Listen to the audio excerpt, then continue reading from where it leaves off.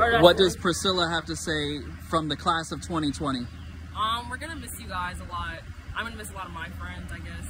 I don't know what else to say, but I hope you guys do good next year and try hard so you can graduate.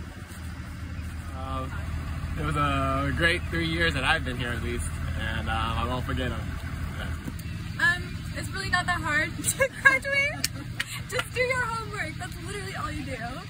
And then you can get high stars.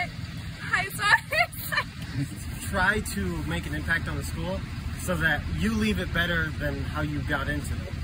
I know school can kind of be a drag sometimes, but in the end, I think already I'm looking back at it really fondly. So just keep with it. Just enjoy every single moment because even as this quarantine has shown that everything can be taken away in an instant and nothing is promised. So make sure you enjoy every single moment that you get at Midland and everywhere you go. Enjoy high school, right?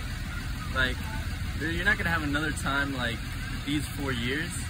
Just enjoy it. Um, a lot of people stress out a lot. You know, you have to get good grades in order to do well in college and to have money. That comes with it, but also just enjoy. Have fun and do like as many extracurricular activities. Be all up in the school. Do everything you can. You'll have a great time, and that's what you'll remember. Actually, try. Don't cheat off of your friends, and um, just enjoy high school. Try to find the best experience out of it as possible. Um, just have a good time because if you don't, it won't be a good time. My best. Uh, attitude and effort is everything, as my dad always says. Just keep your head down and keep a positive attitude and study hard. You'll make it through this.